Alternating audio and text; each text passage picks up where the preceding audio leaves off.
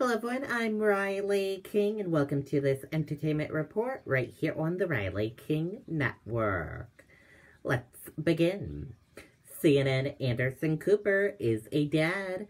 See his first photos uh, with his newborn son Wyatt.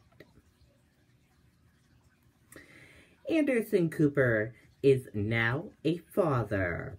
The newscaster welcomed his first child, a boy named Wyatt Morgan Cooper, on April 27th. He is named after my father who died when I was 10. I hope I can be as good as a dad as he was. Anderson wrote in part in a lengthy and heartful Instagram post which included the first photos of his little boy. And let's take a look at that photo.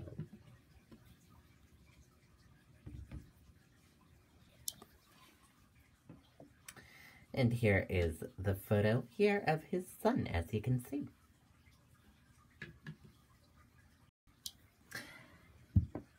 And all of us here at the Riley King Network congratulate Anderson Cooper and his son.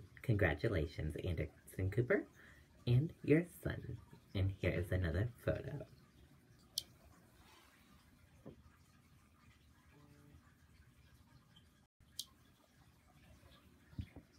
And Anderson Cooper anchors on CNN on weeknights.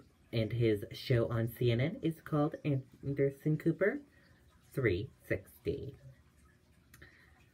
And thank you for watching this entertainment report right here on the Riley King Network. Have a great rest of your Friday. Goodbye, everyone.